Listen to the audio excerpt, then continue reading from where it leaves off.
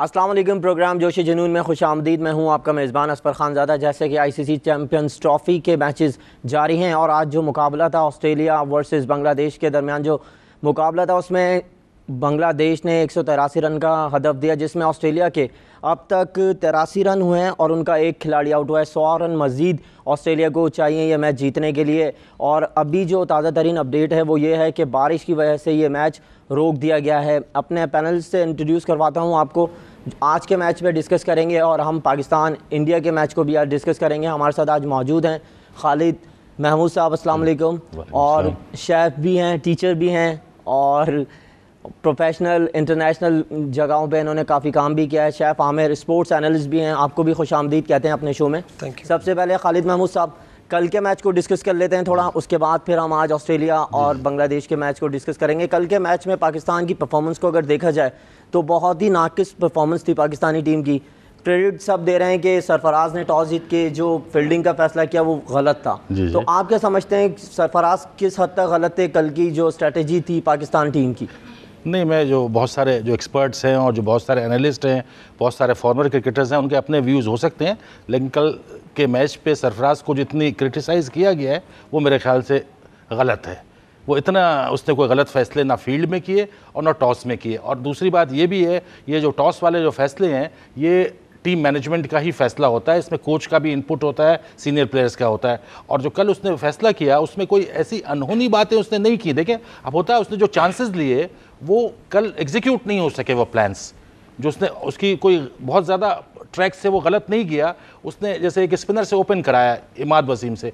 ये history India की है ऐसे तो जनरली इंडिया के बैट्समैन स्पिनर्स को अच्छा कंडीशन अगर हम देखी जाए कंडीशन वो थी। फास्ट बॉलर्स को सपोर्ट काफ़ी कर रही थी रन आपने देखा जब हसन अली और आमिर बॉलिंग कर रहे थे तो उस वक्त स्कोर बहुत कम बन रहा था। जी जी। तो फिर स्पिनर को हमें क्या ज़रूरत पड़ी कि हम स्पिनर से ही अटैक करवाएँ? जब देखा कि पहला ओवर आमिर ने बहुत अच्छा किया जी जी। बहुत अच्छी बॉल्स की स्विंग भी आ रहा था तो डिसीज़न क्यों चेंज नहीं किया गया उस टाइम नहीं डिसीज़न एक बड़ा जहन नशी कर लेना चाहिए कि इंडिया की जो बैटिंग लाइन है वो काफ़ी स्ट्रांग है। और वन, टू, थ्री जो उनके हैं, चार साल से यही चल रहे हैं, धावन, रोहित शर्मा और विराट कोहली, इंडिया की टीम उनके ऊपर डिपेंड करती है। और वो कोशिश करते हैं कि India maximum number of deliveries 300 ball होती हैं 50 ओवर्स के मैच में, उनकी कोशिश होती है कि मैक्सिमम जो है ये तीन बैट्समैन पे ही खेलें। तो ये कहना कि जो रुके हुए थे, वो तो खुद रोक रहे थे ना मतलब बॉलिंग तो थी, बॉलिंग अच्छी थी, आमिर की भी अच्छी बॉलिंग थी और हसन अली ने भी अच्छी बॉलिंग की, लेकिन वो रिस्क फ्री क्रिकेट खेल रहे थे। इंडियन बैट्समैन जो थे उनको पता था कि उनके पीछे अगर युवराज ने छक्के चौके मार दिए युवराज ना मारता तो धोनी मार देता धोनी ना मारता तो ज़्यादा युवराज के इतने अर्से बाद कम बैक और उसकी इतनी अच्छी परफॉर्मेंस तो हमारे जो सीनियर प्लेयर्स हैं जी जी। आप उनको क्या बोलते हैं कि शुएब मलिक हैं हफीज़ हैं अजहर अली हैं काफ़ी एक्सपीरियंस हो गया अहमद शहजाद हैं। ये परफॉर्म क्यों नहीं कर रहे? वही पिच थी। इंडिया के बैट्समैन खेले इंडिया के बैट्समैन ने रन किए। वो स्ट्राइक रोटेट की। हमारे बैट्समैन क्यों नहीं करते ये, ये? काम करना देखे ना ऐसे तो आठ टीमें खेल रही है ना इस वक्त चैंपियंस ट्रॉफी और दीगर टीमें भी वनडे खेलती हैं। ये सिंगल्स का जो गेम है ना ये बहुत मुश्किल खेल है। ये पहले ऑस्ट्रेलिया की टीम बहुत अच्छा खेलती थी इस तरह और इस तरह को इनिंग्स को बनाकर चलना 50 ओवर्स की क्रिकेट मारधाड़ बिल्कुल आखिर में होती है, या शुरू में भी, जैसे गिलक्रिस्ट वगैरह के ज़माने में, या जयसूर्या श्रीलंका पावर हिटिंग करता था शुरू में, लेकिन वो ब्रीफ अरसे की, जहाँ विकेट मुश्किल हो, जैसे कल का मैच में हम स्ट्रिक्ट अगर हम बात करें, कल इंडिया का हालाँकि रन रेट फोर या फोर तक था, चालीस ओवर तक या अड़तीस ओवर तक। उनको परेशानी नहीं थी। वो अड़तीस ओवर में भी अगर 170 रन, एक सौ छिहत्तर रन बना चुके थे तो उनको मालूम था कि जब नौ विकेट हाथ में होगी तो बंदा तो मार, मैंने कहा ना, वो अगर आउट भी एक दो विकेट हो जाते ऊपर से नीचे कैचेस अगर वो पकड़ भी लिए जाते, जो कैचेस गिर गए तो भी खास फ़र्क नहीं पड़ता। इसी रीजन में इंडिया का टारगेट ही सवा तीन सौ तीन सौ रन के करीब था, जो उन्होंने अचीव कर लिया। और पाकिस्तान की बॉलिंग सरफराज ने इमाद वसीम से चांस इसलिए लिया था कि इंडिया के ओपनिंग बैट्समैन हाल में ही तीन चार साल पहले की अब हिस्ट्री देखें। गौतम गंभीर का, मुझे याद है कि हफीज़ ने उसको जल्दी आउट किए हुए हैं। फिर एक Raza Hasan left arm spinner होते थे, उसने कि टी ट्वेंटी के वर्ल्ड कप में पहले ओवर में आउट कर दिया तो ये चांस लिया था। और चांस देखें जहाँ तक बात है, शादाब ने भी फुल टॉस पे अठावन का विकेट लिया है। तो ये चांस लेना होता है, इसको गैम्बल कहते हैं, वो पे ऑफ़ कभी करता है, कभी वो फुल टॉस छक्का भी पड़ता है। आमिर, कल की अगर हम बात करें, वहाब रियाज की बॉलिंग को डिस्कस करेंगे, वहाब रियाज की बॉलिंग क्या होनी चाहिए थी? वहाब रियाज कल जुनेद खान एक आपके पास अच्छा बॉलर है, एक ऐसा बॉलर है जिसका रिकॉर्ड हमेशा इंडिया के अगेंस्ट अच्छा रहा है। तो हमने जुनेद खान को वहाब रियाज की जगह क्यों नहीं खिलाया कि ये एक बड़ी गलती थी पाकिस्तान की? गलती तो थी, गलतियाँ और भी बहुत सारी थी। बड़े बड़े जो एनालिस्ट हैं वो कहते हैं कि जी तजिया करना बहुत आसान होता है क्रिकेट पे बैठ के टीवी पे मैच देखने का। अगर आप वहाब की बात करते हैं तो वहाब रियाज की जो एक परफॉर्मेंस वॉटसन के खिलाफ थी वर्ल्ड कप में, वो देखने के बाद हम कहते हैं जी, क्योंकि उस वक्त जो विकेट थी, उसने जो बाउंसर्स उसको मारे थे पेस भी थी।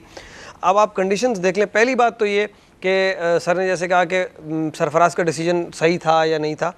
मुझे कोई भी एक लॉजिकल रीज़न बनाते हैं आप मुझे वेदर बता दें, आप मुझे विकेट बता दें, आप मुझे टीम सिलेक्शन बना दें और आप मुझे ओपोनेंट बता दें। चार चीज़ें थी जिसको आप मद्देनज़र रखते हुए टॉस के बाद फैसला करते हैं। कोई भी एक चीज़ ऐसी नहीं थी जो ये फैसला करने पे कहती है कि जी आप पहले फील्डिंग करें। तो सबसे पहले तो आपका डिसीज़न ही वो गलत था। वहाब ने जितने भी ओवर किए हैं उसने 99 परसेंट बॉलें शॉर्ट पिच की हैं। उसने बीच में बॉलें रखी और जब बॉल जब विकेट गीला हो जाता है तो बॉल दबता है उसमें। आप जितना भी पेस लगाने की कोशिश करें बॉल दबता है। हाँ जब मौसम में ह्यूमिडिटी होती है थोड़ा स्विंग होने के चांस होता है लेकिन बिल्कुल भी बॉल स्विंग नहीं हो रहा था। सिर्फ़ शुरू में आमिर ने एक दो बॉल्स हल्के से बाहर की तरफ़ निकाले थे। तो फिर उन्होंने सीधा उसके बाद अगर हम इंडिया की बॉलिंग देखें इंडिया की बुमराह हो गया यादव हो गया जो ये जडेजा हो गया इन लोगों ने भी बॉल की लाइन और लेंथ से बॉल की। समझदारी से बॉल की सीम करने की कोशिश की तो हमारे बॉलर्स क्यों नहीं कर रहे अच्छा, थे वो तो सेम पिच थी। वो थोड़ा सा हम कुदरत को दे देते हैं। थोड़ा सा बादल सूरज निकल आया था थोड़ा सा जब पाकिस्तान की चलो थोड़ा सा सूरज निकल आया था थोड़ी सी खुश्क हो गई थी विकेट लेकिन मेरा सवाल ये है कि जब इतने सीरियस एक्सपीरियंस प्लेयर वो जो लड़का फ़हीम है जिसने आपको वार्म अप मैच में जितवाया पूरे बयासी तिरासी रन बना के बांग्लादेश के अगेंस्ट आपने उसको बिठा दिया आपने उसको खिलाया ही नहीं। सिर्फ़ इसलिए कि हमारे यहाँ हायरार्की जो है ना वो ठीक नहीं है इंफ्रास्ट्रक्चर ठीक नहीं है वो कहते हैं जी ये सीनियर प्लेयर है इनको तो खिलाना ज़रूरी है। मोहम्मद हफीज़ साहब की उम्र गुजर गई क्रिकेट खेलते हुए। अहमद तो शहजाद। अहमद शहजाद साहब की उम्र गुजर सात से पाकिस्तानी टीम का हिस्सा। हिस्सा है आज दस साल हो गए खेलते हुए। तो आप मुझे बताएँ कि आप अगर दायरे से भी बॉल बाहर नहीं निकाल सकते आप सिंगल भी नहीं कर सकते तो मेरे हिसाब से आपको कौम के जज्बात से कौम के टैक्स के दिए हुए पैसे से खेलने का कोई भी किसी तरीके का हक नहीं आप टेक्निकल बात करें टेक्निकल बात कर लें। उसी विकेट पे इंडिया ने बैटिंग की थी जिसमें पाकिस्तान ने बैटिंग की। और आपने उनकी बैटिंग देखी उनके स्ट्रोक्स देखे उनके शॉट्स देखे। वो जो लड़का है उनका हार्दिक पांड्या। जब पांड्या आया तो उसने आखिरी ओवर में तीन बॉलों पे तीन छक्के मारे इमाद वसीम को। और प्रॉपर क्रिकेटिंग शॉट्स थे। वो ऐसा नहीं था कि उसने टुल्ले मारे उसने दो ऑफ़ पे और एक लेग पे मारा। तो कहने का मकसद ये है कि हमारे यहाँ चाहे वो क्रिकेट हो चाहे वो कुछ हो स्पेशली क्रिकेट जो फ्रेम अच्छा, एक दिन पहले भी खबर ये आ रही थी कि वहाब रियाज इंजर्ड है। वो प्रॉपर। फिट नहीं है।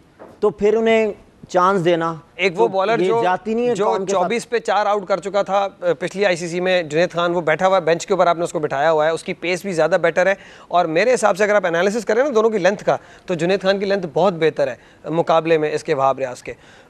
भी है। वो कहते हैं कि वो सर मुंडाते ही ओले पड़े। एक तो आपके पास नहीं थी ऊपर से आमिर का मसल भी पुल हो गया वो भी बाहर चला गया। फिर आपके पास कोई ऑप्शन ही नहीं था। दूसरी बात ये कि आपने इमाद भी स्पिनर खिलाया आपने पार्ट टाइम शादाब भी खिलाया आपने पार्ट टाइम मोहम्मद हफीज हफीज को क्यों खिलाया? हफीज से जब बॉल नहीं कराई नहीं कराई आपने। तो उसको खिलाया क्यों? तो इसलिए आपने बैटिंग फॉर्म में है नहीं फॉर्म हाँ। बैट्समैन वो है नहीं। आपको पता है मलिक से दो ओवर कराए। बिल्कुल दो ओवर टोटल कराए मेरे ख्याल से। हम्म। अच्छा चले फिर आपने टीम खिला ली। आपने डिसीज़न ले लिया। फिर जब क्रिकेट जो होता है ना वो स्ट्रेटेजिकल गेम है। जब 50 ओवर का गेम होता है तो आप स्ट्रैटेजी चेंज करते हैं। आप देखते हैं यार नहीं बॉलर को पड़ रही है इसको चेंज करो फिर दो ओवर बाद दूसरे एंड से हम उसको ले आएँगे ट्राई करते हैं। लेकिन आपका एक बॉलर पिट रहा है आप उसको कंटिन्यूसली बॉलिंग दिए जा रहे हैं दिए जा रहे हैं दिए जा रहे हैं।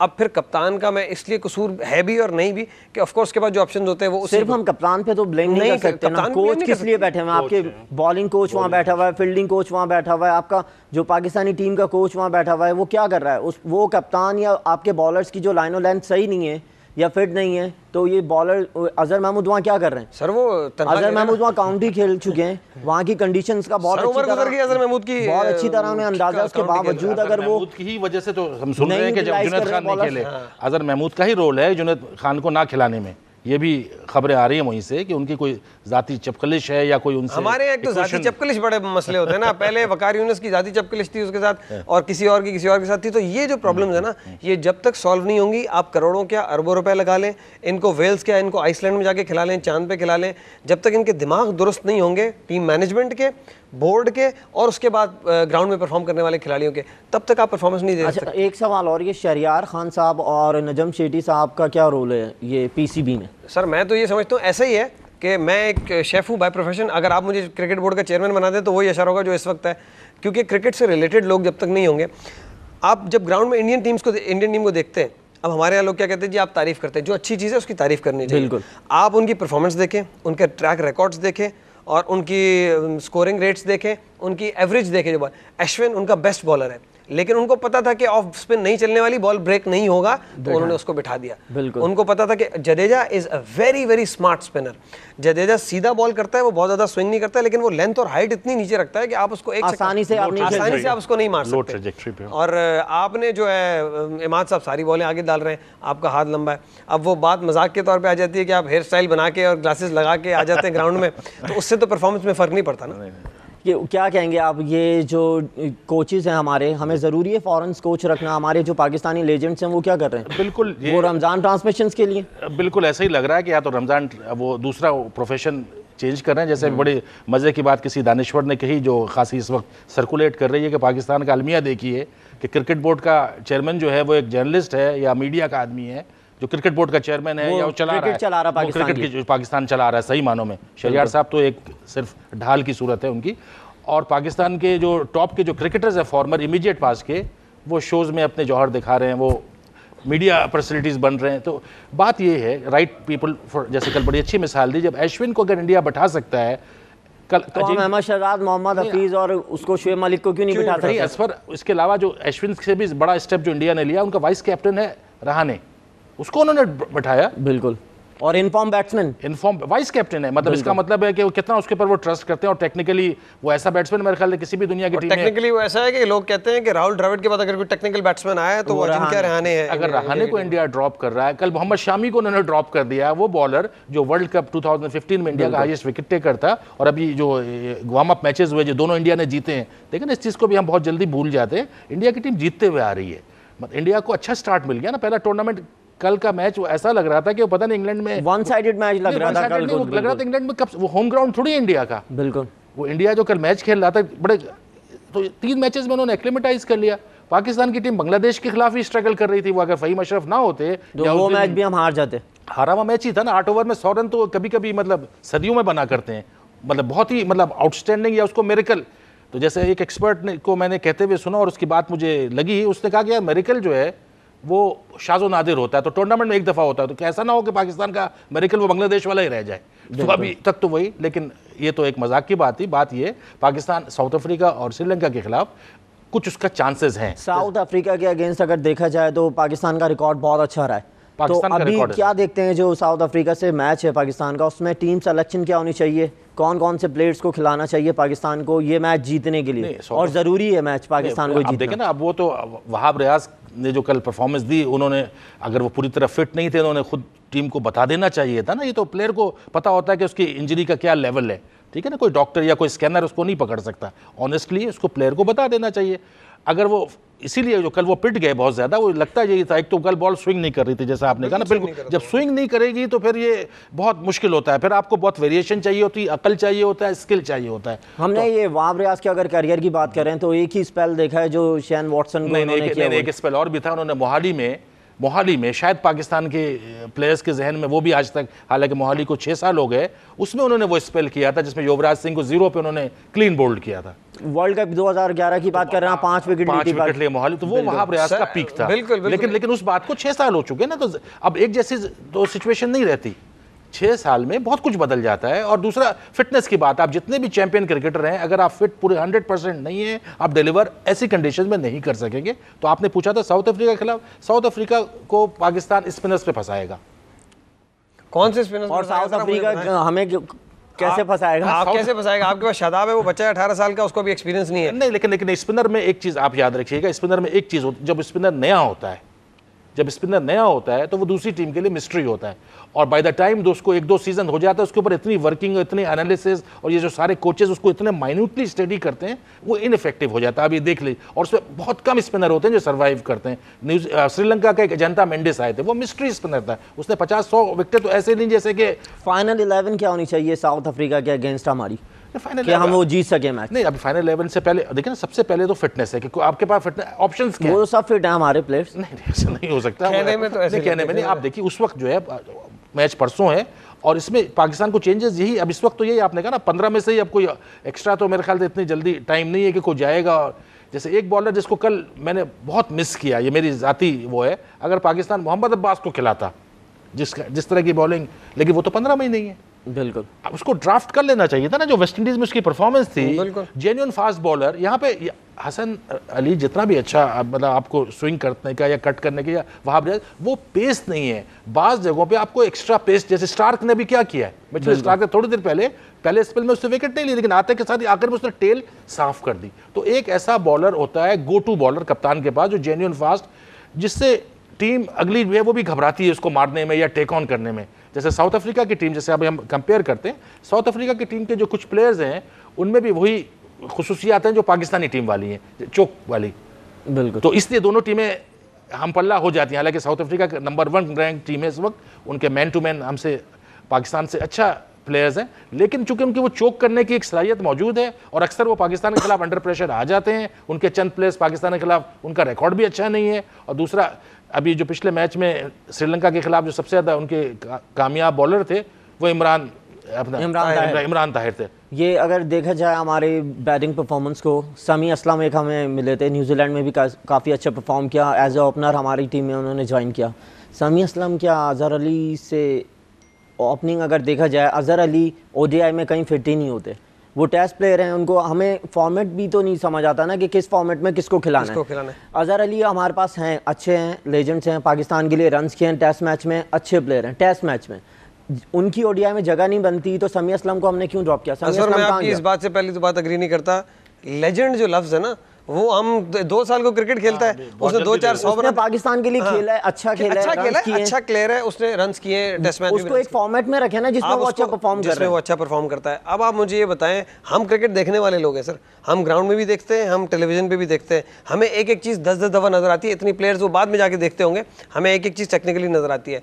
मुझे अजहर आज तक नहीं जब से कप्तान था उससे पहले मुझे उसकी बैटिंग में कोई वो क्लासिक टेक्निक नज़र नहीं आई। मैं आपको वेरी ऑनेस्टली बताऊँ। बिल्कुल। आप और भी कल के मैच में भी हमने देखा। कल के मैच में भी आपने देखा। अ, उसके बाद आप मेरे हिसाब से अजहर अली को नहीं खेलना चाहिए। हाँ, अच्छी जाए कि उसने पचास बनाए हैं रन। वो तो वो अगले मैच में अगले बचने के लिए। अगले मैच में बचने के लिए मेरे हिसाब से नहीं खेलना चाहिए। दूसरा मेरे हिसाब से वहाब रियाज को नहीं खेलना चाहिए। तीसरी बात ये सर इंग्लैंड और वेल्स है। मैंने वहाँ का मौसम देखा है मैं वहाँ के एटमोसफेयर में रहा। तमाम तमाम पेसर्स के साथ जाना चाहिए पेसर के साथ जाना चाहिए। एक स्पिनर आपको ऑप्शनल रखना चाहिए। टाइम है हमारे पास आप शुएब मलिक से बॉल मलिक शुएब मलिक आपके पास दो पार्ट टाइम है हमें पेसर्स के साथ सारे पेसर जाना चाहिए। अगर आप वहाब को खिलाते भी हैं तो आपको वहाँ अनफिट हो चुके हैं मुझे लगता है कि वो नहीं खेलेगा तो अब आपको जुनेद खान को लाना ही पड़ेगा। हर सूरत। तो आपको कोई स्पेशलिटी स्पिनर खिलाने की ज़रूरत नहीं है और मेरे ख्याल से इस वक्त इमाद वसीम की मोहम्मद वसीम की और अजहर अली अगर मैं ज़्यादा एग्जैजरेट ना करूँ तो मेरे हिसाब से जगह नहीं बन रही है टीम में क्योंकि आपको ओपनर्स ऐसे चाहिए जो बॉल को ग्राउंड सर्कल से बाहर निकालें और कुछ पचास साठ रन करें आठ ओवर में। स्ट्राइक भी रोटेट करते हैं। स्ट्राइक रोटेट करते रहें। आप चार बॉलें रोकने के बाद अगर पांचवी पे सिंगल अहमद शहजाद हमारे तो पास क्लासिक बैट्समैन है ना। सर अहमद शहजाद की आपने कल परफॉर्मेंस देखी। मुझे ऐसा लग रहा था कि उन्होंने आपस में बात ये की है कि अहमद शहजाद ने कहा मैं सिंगल लेके आपको दूँगा आप मारें। अब आप देखें कि कि जो स्ट्राइक बैट्समैन है वो अहमद शहजाद है. बिल्कुल। Azhar Ali is not a strike batsman बिल्कुल। वो मेरे साथ कल एक साहब बैठे मैच देख रहे थे उन्होंने कहा अजहर अली की बॉल कभी बाउंड्री से बाहर गई है? कभी से छक्का मारा है? वो एक ऐसी नॉर्मल आदमी थे. तो कहने का मकसद ये है कि अहमद शहजाद का नेचुरल गेम है. आप उसको खेलने दें. और अगर उसके बैट पे बॉल आने लग गया तो वो बहुत अच्छी परफॉर्मेंस दे सकता है शुरू के 10 से 15 ओवर में. लेकिन वो बिल्कुल कब लग, कब देगा? वो अब अल्लाह हम तो अल्लाह से मैनेजमेंट का यहाँ पे मैनेजमेंट का मिस मैनेजमेंट का है। क्योंकि ये मैनेजमेंट का काम है कि उसको कॉन्फिडेंस दे, उसको बताए, उसका रोल क्या आपने बहुत सही पॉइंट आउट किया ये रिवर्स कल रोल से। सर दस साल से वो टीम में अब तक उन्हें अपनी रिस्पॉन्सिबिलिटी का अंदाज़ा नहीं होना नहीं, चाहिए। लेकिन देखिए ना उनके साथ आप एक आपको 325 रन का हदफ आपके सामने है। आप किस तरह आके ओपनिंग स्टार्ट दे रहे हो अपनी टीम को? नीचे मिडिल ऑर्डर्स पे प्रेशर होगा वो तो कैसे खेलेंगे तो आगे? जो कल रोल रिवर्स हुए तो नज़र आ रहा था ना सबको कि वो हर है। नज़र आ रहा था बिल्कुल। पाकिस्तान हारा कल का मैच जो मतलब सही मानों में जो बिल्कुल हार गया वो डॉट बॉल्स की वजह से आ रहा ना। इतने ज़्यादा डॉट तो डॉट बॉल्स खेलना तो इसका काम नहीं है अहमद शहजाद का। और इसका भी नहीं था इसको भी सिंगल जाना चाहिए था अजहर अली को। तो इतना जब स्लो ओपनिंग देंगे ओपनिंग में तो पावर हिटिंग चाहिए ना जब अगर जब 325 का टारगेट है और आपको पता है किसी में बारिश भी आ जाएगी तो आपको तो तेज खेलना था। तो शायद ये मेंटली मैच या तो इनके जहन में था कि 325 हम कर ही नहीं कर ही नहीं सकेंगे। सकते हम हार जाएँगे। या तो ये ये भी स्कोर बोर्ड पे टोटल देखा उन्होंने वहीं हार मान ली कि हम लोग नहीं कर सकते। मैंने शुरू में आपको ये कहा ना जो फॉरेनर प्लेयर्स होते हैं उनके दिमाग भी डेवलप किए जाते हैं उनकी गेम के साथ साथ हमारे यहाँ मेंटल डेवलपमेंट होती ही नहीं है एक्चुअली उनको पता है जी हम इंडिया से खेल रहे हैं बहुत बड़ा मैच है दुनिया देख रही है। हम हमेशा वर्ल्ड कप में इंडिया से हारते ही हैं जी आईसीसी में भी हम हारते ही हैं। तो हमने तो नाइन्टी परसेंट हमें ऐसे लगता है हम हारेंगे तो वो एफर्ट ही नहीं करते। अगर आप इंडियन प्लेयर्स की बॉडी लैंग्वेज देखें ना तो जब वो एक एक प्लेयर आउट होता है ना तो वो सामने आके उनको ऐसे उनको मतलब बता रहे थे कि हमने आपको आउट कर लिया है। उनकी बॉडी लैंग्वेज में दिखता है कोहली में दिखता है रविंद्र जडेजा में दिखता है फील्डिंग में दिखता है बॉलिंग में दिखता है कि उनके अंदर जो वो वैल्यू है उनकी क्रिकेट की और उनके लेवल की वो आपको नज़र आती है। वैल्यूज़ जब तक इनके माइंड सेट नहीं करेंगे आप इनको सोने की बॉलों से प्रैक्टिस करवा लें कुछ भी करवा लें ये परफॉर्म नहीं करें चीफ सेलेक्टर्स की बात की जाए तो चीफ सेलेक्टर इंजाम हक वो लेजेंड्स हमारे क्रिकेट टीम के। उन्हें वो लेजेंड्स हम हाँ वो रियल वो है, नहीं, नहीं, सही वो आप- वो क्या कर रहे हैं? वो उनकी क्या परफॉर्मेंस है पाकिस्तानी टीम के हवाले से? जब से वो आए उन्होंने क्या ऐसी चेंजेस किए जिससे पाकिस्तानी टीम हमारी इम्प्रूव हो? नहीं कोई ऐसा खातिर खा चेंज नज़र नहीं क्यों? वो उन उनके पास तो एक्सपीरियंस है उन्हें पता है कौन सा प्लेयर कहाँ खेल सकता है कैसा खेल सकता है। असल बात यह है यहाँ पे जो पाकिस्तान में जो सिस्टम राइज है जब आदमी इस्टेब्लिशमेंट का हिस्सा हो जाता है तो वो स्टेटस को भी पसंद करता है चाहे वो बॉब वुल्मर हो चाहे आर्थर हो चाहे पाइबस हो। तो वो फिर उसी रंग में रंग जाते हैं। उनको फिर वो नज़र आते यार, कि मैं क्यों एक ऐसी चीज़ करूँ? रिस्क क्यों लूँ? जब तक मेरा चल रहा है, चलता रहे। तो पाकिस्तान में ये प्रॉब्लम ये माइंड सेट है कि चांस लेने या रिस्क लेने अब अहमद शहजाद भी इसी चीज़ की रिफ्लेक्शन है। अहमद शहजाद यही सोचता होगा, उसका माइंड यही कहता होगा, मैं क्यों मार के आउट हो जाऊँ? जब सब ग्राउंड शॉट खेल रहे हैं या सेफ़ खेल रहे हैं वाई शुड क्योंकि आखिर में तो वो रन ही देखे जाएँगे अगर अहमद शहजाद फेल हुआ। तो वो कोशिश करता है कि मैं कामरान कामरान अकमल अजहर अली की जगह में नहीं खिलाना चाहिए था इस टूर्नामेंट में क्योंकि पिचेस ऐसी हैं वो खेलता है इन पिचेस पे अच्छा है। उमर अकमल को हमने वापस कर दिया। नहीं, नहीं, बिल्कुल, बिल्कुल, आप- आप सही कह रहे हो। सोहेल खान का है? सोहेल खान एक बॉलर ऐसा आया था हमारे पास न्यूजीलैंड में उसने रन भी किए और आउट भी किए। और यहाँ अच्छा हो सकता था। तो ये ये कौन देखेगा? ये डिसीज़न ये कौन बनाएगा ये, और चीफ सिलेक्टर को देखें ना, बात ये है कि अभी जो वेस्ट इंडीज की सीरीज़ हुई, वो चैंपियंस ट्रॉफी से वो अचानक तो नहीं हुई थी ना? वो सीरीज़ तो पहले से प्लान थी। तो आप तो उस हिसाब से प्लानिंग करते हैं ना, कि आपने जिस अगर मोहम्मद अब्बास को उन्होंने देख लिया था तो सिलेक्शन का तो उसको कंटिन्यू करना चाहिए था। या इस तरह जो भी अच्छा परफॉर्म दे रहा है तो उसको आप कंटिन्यूशन देंगे। और ये अजहर अली का जो सिलेक्शन है ना, ये बहुत क्वेश्चनेबल है। इट्स वेरी क्वेश्चनेबल मतलब चूँकि वो नेचुरली नहीं है ना। एक होता वनडे का नेचुरल प्लेयर या लिमिटेड ओवर्स का। वो लिमिटेड ओवर्स का प्लेयर अच्छा होगा क्या? वो टेस्ट क्रिकेटर बहुत अच्छा है। टेस्ट बैट्समैन बहुत अच्छा है। लेजेंड तो मैं नहीं कहूँगा जैसे आप कह रहे हैं but is a very good test batsman now अब वो डेवलप हो चुका है। ये अब उसका टेस्ट भी फॉर्म खराब हो जाएगा। अगर उसको वनडे में गालियाँ पड़ने शुरू हो गई या टी ट्वेंटी उसको खिला दिया मतलब that is not is capacity अब देखो चेतेश्वर पुजारा इंडिया का कितना बड़ा टेस्ट बैट्समैन है उसका 50 का एवरेज है लेकिन उसको किसी आईपीएल टीम ने पिक नहीं किया। आज वो काउंटी क्रिकेट खेल रहा है। तो आप देख लेना उस क्योंकि वो खेलता अगर आईपीएल या उसको उन्होंने आईपीएल में ज़ाहिर है बीसीसीआई की अंडरस्टैंडिंग हुई होगी ना उन्होंने बोला खराब हो जाएगा उसमें। जैसे अजहर अली स्पॉयल हो अजहर अली का क्या फ़ायदा? कर पचास रन बनाने का उसको 50 रन तो आ गया बोर्ड पे। वो अगले मैच में पक्के हो गए ना इस वजह से पचास पक्के, पक्के नहीं हुए। अब हो सकता है कि पाकिस्तान को अगर डू और डाई पे चुके पाकिस्तान अब चला गया ना एक मैच की गुंजाइश थी अब वो मैच पाकिस्तान हार चुका है तो अब पाकिस्तान मेरा ख्याल है सर आप लोग आपके जो चीफ सेलेक्टर ना और जो मैनेजमेंट है वो यही देखते हैं मेरा जो एनालिसिस है वो कहेंगे मेरे हिसाब से ये अजहर अली को खिलाएँगे। मुझे ऐसे लगता है कि अजहर अली खेलेगा। अगले दोनों मैच खेलेगा। दोनों मैच खेलेगा ऑन द बेसिस ऑफ़ तो फिर फिर नहीं तो फिर इसका मतलब है फिर हम साउथ अफ्रीका से भी आप हारने के लिए तैयार हो जाए। ये अजहर अली तो खेलेगा मैच नहीं, नहीं, आप अजहर अली ने जब- पचास किए हैं सर। अगर अजहर अली लंबा खेलता है ना तो दूसरी टीम का फ़ायदा है। ये भी अगर अजहर अली लंबा खेल- बिल्कुल, बिल्कुल। तो साउथ अफ्रीका चाहेगा। कि उसको फिर लंबा ही de Villiers is a very smart captain तो उसको ऑफ़ स्टम्प के बाहर ही गेंद कराते रहेंगे वो छोड़ता रहेगा मज़े से। अच्छा आके हम ब्रेक की तरफ़ चलते हैं। ब्रेक से आने के बाद हम बात करेंगे जो इंडियन लेजेंड्स हैं राहुल द्रविड उनके अंदर अंडर 19 की टीम दे दी गई है। जी, जी। वो उनको तैयार कर रहे हैं, कर रहे हैं, तो हमारे लेजेंड्स क्या कर रहे हैं? इसका जवाब लेंगे। ब्रेक के बाद ब्रेक लेते हैं। ब्रेक के बाद हाजिर होते हैं। कहीं मत जाए देखते रहे बिज़नेस पर।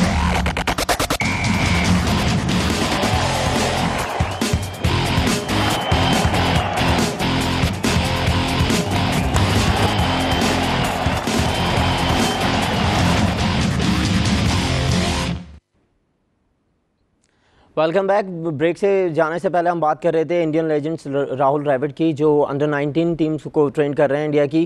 खालिद महमूद साहब से हमने सवाल किया था। जी खालिद महमूद साहब राहुल द्रविड इंडियन लेजेंड्स अपने जो लेजेंड्स हैं उनको यूटिलाइज करते हैं। हमारे क्या करते हैं? हमारे हमारे टीवी शोज़ करते हैं। आप देख रहे हैं? आप देख रहे हैं? मेरे ख्याल से सब सभी देख रहे हैं बड़े शौक से देख रहे हैं गौर से देख रहे हैं। कोई किसी एंकर को कॉपी कर रहा है कोई किसी को कर रहा है मतलब। अब ज़ाहिर उनको जब क्रिकेट बोर्ड में कोई रोल नहीं है जब वो फ्री हैं तो वो भी अपने प्रोफेशनल के लिए तो कुछ ना कुछ करेंगे ना तो आप उनको भी इतना इस काम के लिए ब्लेम ना करें। लेकिन बात हम जहाँ से राहुल द्राविड की करते हैं उसमें देखिए क्रिकेट बोर्ड इंडिया का जैसे भाई ने बात की, आमिर साहब ने इंडियन क्रिकेट बोर्ड आखिरी चंद सालों में खासा सीरियस हो गया और जब से वो आईपीएल वगैरह भी उन्होंने शुरू किया और उनका लेवल जो है क्रिकेट का एक अपर ऊपर चला गया। मतलब India has become one of the major teams of world cricket है ना? पहले it was one of other teams यार चलो एक इंडिया की टीम भी, अब ऐसा नहीं तो उस तो वो समझते हैं, जैसे आईपीएल उनके लिए इंपॉर्टेंट है, दीगर चीज़ें इंपॉर्टेंट है, लेकिन उन्होंने ये चीज़ जो सही सिमत उनकी ये है, असल टीम चीज़ जो इंडिया की है, वो टीम की परफॉर्मेंस है। और टीम की परफॉर्मेंस कब बनती है? जब आपको, आपका फ्लो होता है, आपको सप्लाई सिस्टम होता है, जब आपको अच्छे क्रिकेटर्स मिल रहे होते हैं। अच्छे क्रिकेटर कहाँ से मिलेंगे आपको? नर्सरी से अंडर 19 से मिलेंगे उसके बाद वो फ़र्स्ट क्लास में जाएँगे। और राहुल द्रविड़ जिनकी राहुल द्रविड़ इस काम कोचिंग कर रहे हो वो तो प्लेयर्स ही आउटस्टैंडिंग होंगे। जिनकी वो गाइडेंस कर रहे हो जिसकी वो मेंटोरशिप कर रहे हो और राहुल द्रविड़ खुद एक मतलब जिस लेवल का प्लेयर और जिस अंदाज से वो उसका कम्युनिकेशन भी बहुत अच्छा है वो उसकी बदकिस्मती रही और शायद एक हालात का वो हुआ कि उसके ज़माने में ग्रेक चैपल कोच आ गया था वरना राहुल द्राविड कप्तान भी बहुत अच्छे साबित होते। लेकिन वो एक एपिसोड हो गया था, इसलिए कंट्रोवर्सीज हो गए। लेकिन यहाँ पे उनको फ्री हैंड मिल गया। और आप जो ये कह रहे हैं उसमें, जावेद मियादाद पाकिस्तान में एक ऐसे क्रिकेटर जिनके ऊपर मेरे ख्याल से कोई शक नहीं है उनकी क्रिकेट एबिलिटी पे। दीगर चीज़ों पे तो आप कंट्रोवर्शियल रहे होंगे, लेकिन जो क्रिकेट एबिलिटी और उसकी जो, ये वाली जो क्रिकेट आई थी, जिस तरह वो देख के अंदाज़ा लगाता था प्लेयर को, वो सेकंड टू नन थी। तो जावेद मियादाद को इंगेज करना चाहिए था अंडर 19 लेवल पे ही लेकिन हुआ क्या? उसको उनको दिया गया चांस दिया गया उनको पाकिस्तान की टीम हवाले उनकी की गई। 99 वगैरह में आपको याद होगा वर्ल्ड लेकिन वो उस वक्त उन प्लेयर्स की कोचिंग कर रहे थे जिनके साथ वो खेले हुए थे जिनके साथ उनके कुछ मरासिम उन्नीस बीस भी रहे होंगे और सबको पता है वो प्रॉब्लम पर्सनलिटी क्लैश का आप कह सकते हैं। तो जावेद मियादाद को उस वक्त ही अंडर नाइनटीन टीम दी जाती तो शायद बहुत बेहतर होता। लेकिन एक प्रॉब्लम जो आप कह रहे हैं पाकिस्तान में क्रिकेटर्स के भी कुछ मतलब जावेद मियादाद को हैविंग सेट कि इज़ द आइडियल मैन इस काम के लिए वो करते और नेशनल को, लेकिन जावेद मियादाद को क्रिकेट बोर्ड ने एजाज भट्ट के ज़माने में डायरेक्टर जनरल का अहदा दिया था। लेकिन उन्होंने उस वक्त नहीं किया ना परफॉर्म उनकी कुछ प्रायोरिटीज़ कुछ और थी। तो आप यहाँ दोनों, दो तरफा मामला है।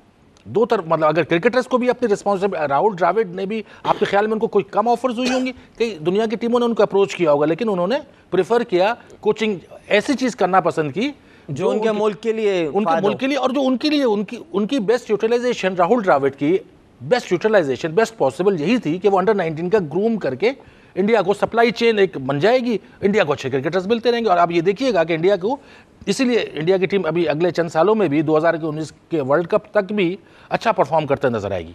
आईपीएल की बात की जाए, इंडिया को बहुत प्लेयर मिले हैं आईपीएल से और हमारा जो पीएसएल स्टार्ट हुआ है, क्या देखते हैं पीएसएल एक और मुल्तान की जो साइड है हमारे पास ऐड होगी अब जो नया पीएसएल होगा?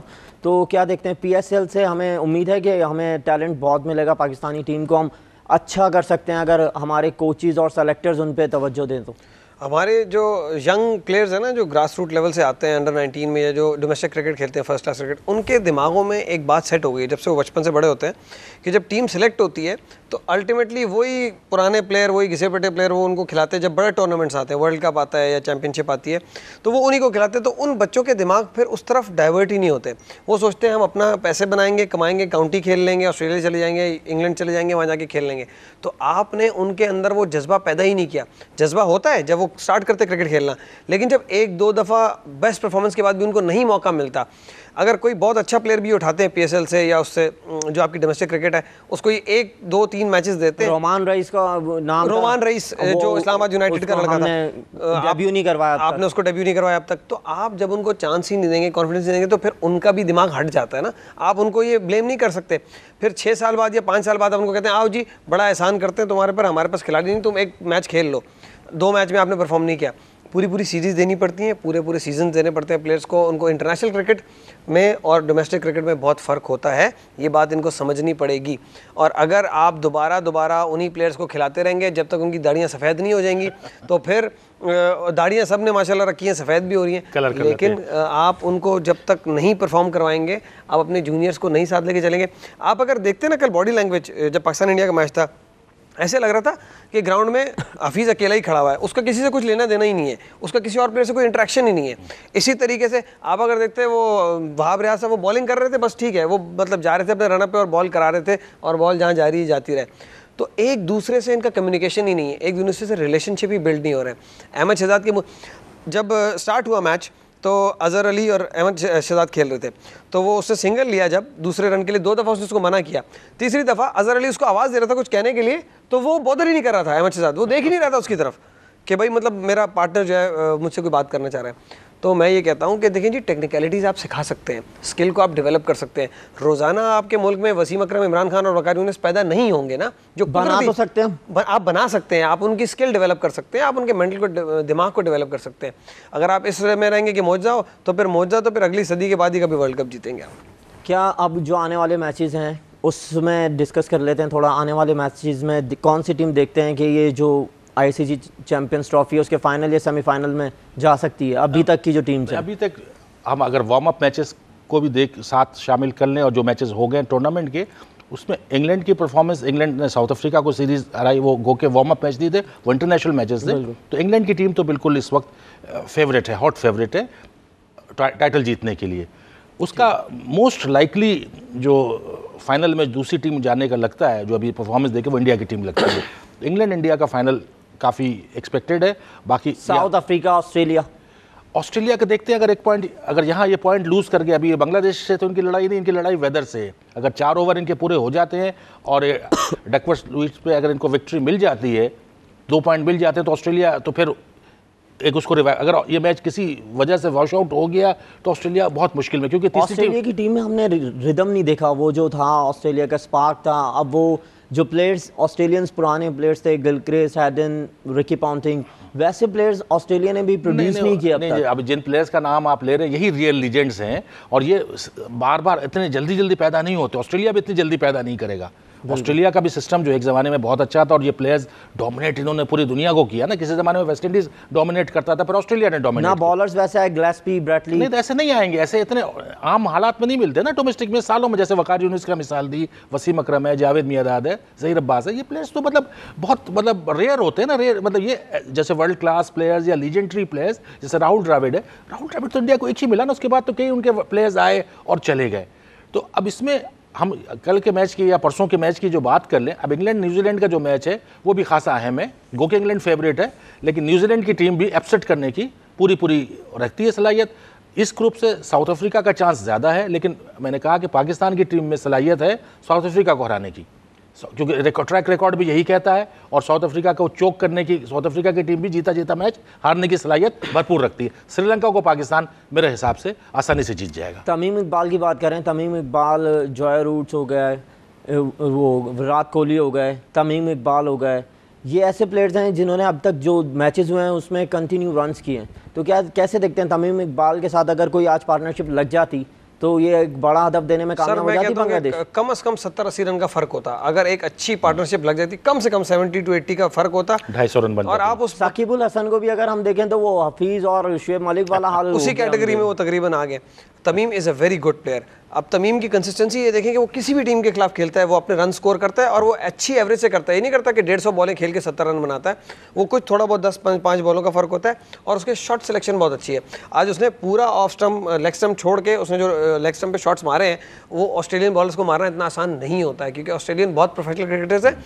लेकिन आजकल ऑस्ट्रेलियन बोर्ड में भी जो कुछ हम्म। मसले मसाइल चल रहे हैं उसकी वजह से कोई प्लेयर कंसिस्टेंट हो नहीं पा रहा है।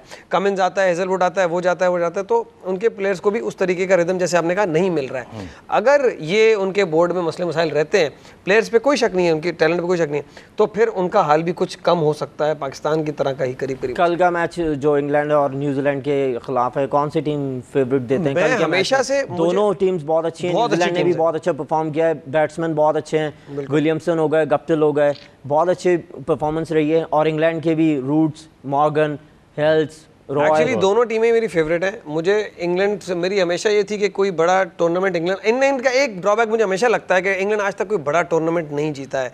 आईसीसी टी ट्वेंटी जीता टी ट्वेंटी जीता था। उसके अलावा वर्ल्ड कप नहीं जीता है। मुझे ऐसा लगता है हमेशा न्यूजीलैंड के साथ मेरी हमेशा दिल की गहराई से ना मेरी हमदर्दी होती है। बिकॉज़ न्यूजीलैंड वो टीम है जो हर हाल में हर प्लेयर के साथ फाइट करती है वो कोशिश करते हैं आखिरी लिमिट तक वो कोशिश करते हैं। विलियमसन ने उस दिन कितना ज़बरदस्त जीता अगर वो जीत जाता तो न्यूजीलैंड मैं आपको बताऊँ अगर और न्यूजीलैंड ने पहली बैटिंग करके 250 से 280 के दरमियान का टारगेट दे दिया तो फिर मुश्किल हो सकती है इंग्लैंड को। और अगर इनिशियल ओवर्स में इनिशियल 15 ओवर में तीन विकेटें गिर जाती हैं इंग्लैंड की तो फिर इंग्लैंड को मुश्किल का सामना करना पड़ सकता है। क्या कहते हैं सर आप? नहीं मेरे ख्याल से तो इंग्लैंड फेवरेट है लेकिन न्यूजीलैंड में कैपेसिटी है जैसे आपने नाम लिया विलियमसन एक ऐसा उनका कप्तान भी इतना अच्छा है। भी अटैकिंग प्लेयर है। कैपिटल भी अटैकिंग है तो ये ये मैच विनर्स हैं तो इंग्लैंड के लिए आसान नहीं होगा इंग्लैंड फॉर ग्रांटेड इंग्लैंड की अगर हम बैटिंग की बात करें ओपनर्स रॉय हेल्स रूट्स और नौ नंबर पर मोइन अली आते हैं बेन अली। जैसा ऑलराउंडर तो इसीलिए इंग्लैंड की बैटिंग भी बहुत इंग्लैंड की बैटिंग भी बहुत अच्छी है बॉलिंग भी बहुत अच्छी है उनकी बैटिंग अच्छी है वो कल मेरे ख्याल आदिल रशीद को भी वो खिलाएँगे स्पिनर को। इंग्लैंड की टीम बहुत अच्छी टीम है अपने होम ग्राउंड पे भी खेल रही है। आमिर साहब ने कहा उससे टूर्नामेंट नहीं जीता तो शायद वो कमी ये उस दफ़ा पूरी कर देंगे। लगता है। मतलब का- खासा मतलब इंग्लैंड जो है कल की टीम हम फेवरेट नहीं कह सकते किसी को इंग्लैंड इंग्लैंड हो मेरे मेरे ख्याल में तो इंग्लैंड कल फेवरेट है। मुझे ऐसे लगता है कि कल एक अपसेट होने वाला है और मुझे लगता है कि न्यूजीलैंड कुछ आउटस्टैंडिंग परफॉर्मेंस देने वाली है। कंडीशंस दोनों एक तरह के खेलते हैं। दोनों ठंडे मौसम में खेलने की टीम है। उनकी तकरीबन एक जैसी कंडीशन होती हैं। और मुझे लगता है कि कल टॉस पे बहुत ज़्यादा डिपेंड करेगा टॉस टॉस पे इतना ज़्यादा हम डिपेंड क्यों कर रहे हैं? टॉस नहीं, नहीं, टॉस नहीं, हमने देखा जो भी टीम जीती है उसने फ़र्स्ट नहीं, नहीं, इसीलिए- बैटिंग की नहीं, है उसकी एक हमारी टीम के अलावा जितने भी टॉस जीते हैं उन सबने बैटिंग की है। तो टॉस पे इतना रिलाई क्यों करते नहीं हैं? नहीं नहीं टॉस देखा टॉस जीत कर दो माइंड सेट होता है।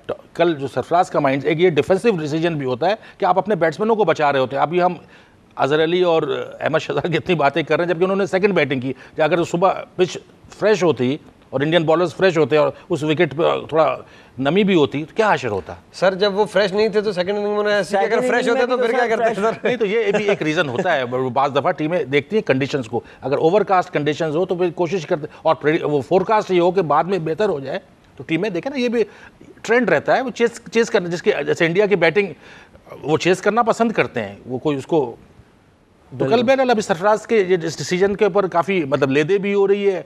कुछ डिफेंस उसको डिफेंड करने वाले बहुत कम है। अब इसलिए कि वो मैच हार गया। अगर उस मैच का रिज़ल्ट कुछ और होता तो फिर यही कहते यार तो बड़ा अच्छा किया उसने। अच्छा पीएसएल से हमें कितने फ़वाद हासिल हो सकते हैं? पीएसएल से हमें नवाज़ मिला। नवाज़ को हमने मैचेस खिलाया उसके बाद हमने उसको बिठा दिया। रोमान रईस एक अच्छा ऑलराउंडर मिला। हमने उसको चांस नहीं दिया। अब ये शादाब आए। शादाब से हमने शादाब को खिला रहे हैं। लेकिन ये है कि हम एक दो एक दो सीरीज़ खिला के उनको बिठा देते हैं कि कॉन्फिडेंस हम उनका किल नहीं कर रहे जो बिल्कुल हमारे बिल्कुल आप नहीं बिल्कुल देखें जैसे पीएसएल तो अभी दो एडिशन हुए हैं बहुत कामयाब रहे और पीएसएल के ज़रिए पाकिस्तान को अच्छे क्रिकेटर्स मिलने की एक अपॉर्चुनिटी मिल गई ना एक प्लेटफॉर्म मिल गया। यहाँ आप अच्छे इंटरनेशनल क्रिकेटर्स इंटरनेशनल मीडिया के सामने और इसमें ये जो भी प्लेयर परफॉर्म करता है वो form he is noted he is noted और उसको आगे चांस मिल जाता है चाहे वो शादाब हो चाहे शर्जील हो जिसको इन्होंने अच्छे परफॉर्म करके आगे लिए ना अपने chances P S L is a very good step लेकिन पाकिस्तान का जो प्रॉब्लम है, जिसको हम कभी सेपरेट प्रोग्राम में डिस्कस करेंगे, क्योंकि ये तो आजकल चैंपियंस ट्रॉफी का है, वो पाकिस्तान की मैनेजमेंट प्रॉब्लम है। जब तक क्रिकेट बोर्ड का चेयरमैन जब तक क्रिकेट बोर्ड का सेटअप वो प्रोफेशनल नहीं होगा, जब तक सवाब दीदी पावर रहेंगे तो ये प्रॉब्लम्स रहेंगी। अकाउंटेबिलिटी जब नहीं होगी, जब ऊपर से नहीं होगी, जब आप क्रिकेट बोर्ड के चेयरमैन को खुला छोड़ देते हैं, उसको कोई सवाल जवाब नहीं करता तो आप कैसे एक्सपेक्ट करते हैं कि इंजमामुल हक या सरफराज या इवन कोच मिकी आर्थर उनको भी पाकिस्तान के सिस्टम का पता चल जाता है वो भी बड़े फिर ठंडे ठंडे रहते हैं। यार कि क्या ज़रूरत है कि मैं कोई ऐसा स्टेप लूँ? वो भी फिर जैसे मिकी आर्थर कह रहा ना उसको खिलाने का कल अपना ज़िम्मेदारी कबूल करता हूँ मैं। बोला होगा ठीक है खिला लो। क्योंकि उसको पता कुछ नहीं। तो इस तरह और आपने सवाल शुरू में किया था, इस पर भी हम बात करेंगे। आज अब तो टाइम की कमी है। पाकिस्तान में मौजूद हैं ऐसे क्रिकेटर्स फॉर्मर क्रिकेटर्स जैसे एक क्रिकेटर का नाम जो बहुत मतलब पता नहीं क्यों आज तक उसको यूटिलाइज नहीं किया, उसका नाम है Jalaluddin. Is the highest qualified coach of Pakistan, जिसने कस्टम्स के हद तक डोमेस्टिक के हद तक बहुत अच्छे अच्छे प्लेयर्स उसने प्रोड्यूस करके दिए हैं। ही मस्ट बी कंसिडर्ड इन लोगों को चांस देना और उनको नेशनल अकेडमी में भी बुलाएँ और उनको कहें कि प्लेयर्स आप ला कर दें। पाकिस्तान को प्लेयर्स चाहिए अच्छे प्लेयर्स चाहिए। हमाद आज़म का अगर ज़िक्र करें हमाद आज़म हाँ, वो भी हमारे पास था उसको हम बना सकते थे नीचे आके हाँ, अच्छे रन करता था वो बॉलिंग भी करता था। हमाद आज़म का आप अपने स्ट्रक्चर को देख लें हमाद आज़म देख लें। आपने जिन अभी प्लेयर्स के नाम लिए जो पीएसएल में स्पॉट हुए थे उसके आपने किस प्लेयर को पिछले दस साल में ग्रूम किया है? आप मुझे बता दें कौन सा ऐसा प्लेयर है जो जो क्रिकेट खेलते गए जिनके कुछ रन बन गए तो उनकी टीम में जगह बनती गई जिस तरह हफीज़ है शुएब मलिक है अजहर अली है। अजहर अली है कामरान अकमल है। ये तो चले नेचुरल अल्लाह ने कुछ उमर अकमल। उमर अकमल है। उमर अकमल और विराट कोहली ने साथ डेब्यू किया था। और आज आप उनकी परफॉर्मेंस देख लें आप हमारा कमाल बेस्ट प्लेयर है नंबर वन प्लेयर वो तो वो तो अपने घर तक ही होगा ना लेकिन एक्चुअली ऐसा नहीं है। और विराट कोहली के आप रिकॉर्ड्स देख लें और उसके रिकॉर्ड्स देख लें आप कंपैरिजन कर लें। तो एक्चुअली आपने जो हकीकत है आपने कोई भी प्लेयर पिक करके उसको ग्रूम करके बड़ा प्लेयर नहीं बनाया है। जितने भी प्लेयर्स हैं वो कुछ अल्लाह ने उनको सलाहियत दी ऑन देयर ओन आए ऑन देयर ओन वो बॉन्ड क्रिकेटर्स हैं। ठीक है जी? कामरान अकमल जितने भी स्ट्रोक्स खेलता है ना सर वो नेचुरल खेलता है वो जब मारता है तो वो। और तो- इन पिचेस पे चांस देना चाहिए था चांस देना चाहिए में यही तारीख है वसीम अकरम भी इसी तरह आए थे तौसीफ अहमद भी इसी तरह मतलब इकबाल का ये सब अपने अपनी स्किल पे आए थे। उस जमाने में चूँकि काउंट्री क्रिकेट होती थी जाके ये ग्रूम हो जाते थे। अब तो पाकिस्तान अब वो पीएसएल का सहारा है या तो पीएसएल में आकर लेकिन जैसे आमिर साहब ने कहा उसको चाहिए पीसीबी को अगर उनके पास कंसिस्टेंट पॉलिसी हो कि किसी प्लेयर को लंबा रन दे उसको कॉन्फिडेंस दे। कौन से ऐसे प्लेयर्स हैं अब जो जिनको हम समझते हैं कि उनका लास्ट टूर्नामेंट होना चाहिए और उसके बाद उनको खैरबाद अगर वो खुद नहीं जाते तो हमें खुद खैरबाद कह देना चाहिए। कौन से ऐसे प्लेयर्स हैं? असफर लाखों रुपए जब बंदे के बैंक में आ रहे हो ना महीने के तो वो खुद तो खैर बात इतनी जल्दी करने का नहीं सोचते हैं। और करोड़ों रुपए की जब तो फिर ये हो। आवाम ने क्या किया? आवाम का क्या कसूर है? देखिए जी, इतनी एक्सपेक्टेशन अपनी टीम से रखते हैं हम। आवाम का तो कोई आवाम का तो कोई कसूर ही नहीं है ना। आवाम का तो जो बताते हैं ना फ्रूट की महँगाई सस्तवाई में ना प्लेयर्स की सिलेक्शन में। वो तो गरीब अपने जज्बे से बैठते हैं मैच देखने के लिए टीवी लगा के कि यार चलो पाकिस्तान जीतेगा। तो फिर उसके बाद ऐसी परफॉर्मेंस होती है। मैं क्रिटिसिज्म पे बिलीव करता हूँ लेकिन पॉजिटिव क्रिटिसिज्म पे करता हूँ। हम जो बातें यहाँ कर रहे हैं हम सिर्फ़ इसलिए कर रहे हैं कि ये बोर्ड को अगर उनके कान तक जाए तो उनको समझ में आए। थोड़ा सा उनको उनका ज़मीर जागे थोड़ी सी उनकी बत्ती रोशन हो और वो ये सोचे कि नहीं यार ये हमारी कौम का सरमाया है इनको आखिर में कौन से ऐसे प्लेयर्स हैं जिनका ये लास्ट टूर्नामेंट होना चाहिए मेरे हिसाब से Hafeez should not play any more Hafeez को नहीं खेलना चाहिए। शुएब? और शुएब मलिक को भी अब मेरे ख्याल से इस टूर्नामेंट के बाद नहीं कुछ बचा है उसमें। अहमद शहजाद। अहमद शहजाद को खेलना चाहिए मेरे हिसाब से भी और उसके ऊपर इनको खसूसी तवज्जो देनी चाहिए उसको वो नहीं देंगे ना सेल्फी जब तक वो बनाएँगे कैसे क्रिकेट पे तो नहीं चलो वो पर्सनल शौक भी है हर इंसान के अपने अपने होते हैं लेकिन Hasan Ali is a good bowler मैं आपको बताऊँ Hasan is a very good bowler कल आप उसकी अगर लेंथ देखें तो उसने तकरीबन भुवनेश्वर वाली लेंथ पे बॉल की है वो नहीं निकालने दे रहा था बॉल लेकिन उसको संभालना उसको रखना और उसको चलाना बोर्ड की और मैनेजमेंट की रिस्पॉन्सिबिलिटी जी खालिद महमूद साहब। नहीं पाकिस्तान को क्रिकेट जब ओवरहॉलिंग चाहिए ये छोटी मोटी मतलब इसका काम नहीं दिस नीड्स मेजर सर्जरी हम अभी एक दो प्लेयर्स को चेंज तो कर लेंगे फौरी तौर पे एक सीरीज़ के लिए दो सीरीज़ के लिए। हम सरफराज को यंग टीम क्यों नहीं देते? बिल्कुल देना चाहिए बिल्कुल। यंग टीम के साथ खेले विराट कोहली जब आए थे सारे यंगस्टर थे एक धोनी वाइट प्लेयर थे जो लेके चल रहे थे पूरी टीम को दो दिन- साथ। दो दिन पहले ने प्लेयर्स बनाए धोनी बैक ऑफ़ हुए वो विराट कोहली फ्रंट पे आए वो अब टीम को लेके चल रहे हैं। तो हम क्यों नहीं कर सकते दो दिन पहले जब हम प्रोग्राम स्टार्ट में हम उस दिन गुफ्तु कर रहे थे हमने यही कहा था कि मॉर्गन ने इंग्लैंड की टीम को 2015 के वर्ल्ड कप के बाद से बिल्कुल एक डिफरेंट डगर पे डिफरेंट रास्ते पे डिफरेंट स्ट्रेटेजी पे ले गया लेकिन उसमें मैनेजमेंट ने उसको बैक किया। एलिस्टर कुक की जो थ्योरी थी डिफेंसिव थ्योरी वो खत्म करके Morgan was blessed with the team और उसको पूरा बोर्ड ने तो वही चीज़ सरफराज कर सकता हमने इसी पे एग्री किया था। इस पर मेरे ख्याल से कोई disagree Sarfaraz is a very aggressive player अब प्लेयर को लीडरशिप जब आपने दी है तो आप उसको पीछे से सपोर्ट देना कि वी आर राइट बिहाइंड अच्छा एक इंपॉर्टेंट पॉइंट मैं बताऊँ कि इसमें जो इनको मेजर चेंज करना चाहिए खुद सरफराज को डिसीज़न लेना चाहिए कि सरफराज को ऊपर बैटिंग करनी चाहिए। वन डाउन वन डाउन कम से कम सरफराज को वन डाउन खेलना चाहिए क्योंकि हमें वो प्लेयर्स चाहिए जो विकेट पे स्टे करें और रन्स और बनाए रन्स भी साथ साथ बनाए और सरफराज में वो क्वालिटी बाय नेचर इसलिए मैं बात की सरफराज का पॉइंट ऑफ़ व्यू इस पे ये है कि सरफराज अगर ऊपर आके आउट हो गया तो हमारी वो बिल्कुल हॉलो हो जाएगी हाँ, तो सर ये तो फिर कोई बात ये तो कोई रीजन नहीं हॉलो हॉलो हो जाएगी ना भाई मिडिल को चांस तो लेना होगा ना सरफराज रोटेट करते हैं। स्ट्राइक बिज़ी रहते हैं क्रीज पे। अब ऐसा तो नहीं नहीं आता। कल भी हम पाँच कल भी नंबर कल भी हमारे जब 20 ओवर्स हुए थे तो 10 ओवर हमने डॉट खेले बीस ओवर में से 10 ओवर डॉट खेल के हमने 80 रन किए हुए थे। तो धोनी और सरफराज के गेम में बड़ा डिफरेंस है sir. Dhoni is a hitter Dhoni एक छक्के जो चौके मारने वाला है ना दूसरा ये भी देखे ना टाइम की दो नई बॉल होती है इसलिए सरफराज को इतने मुश्किल में ना डालें कि नई बॉल खेलना पड़े बहुत शुक्रिया आप दोनों का पैनल्स का आप आए हमें ज्वाइन किया कल। इंशाल्लाह फिर इस टाइम हाजिर होंगे कल के मैच पे डिस्कस करेंगे। तब तक के लिए इजाज़त दीजिए। अल्लाह हाफिज़।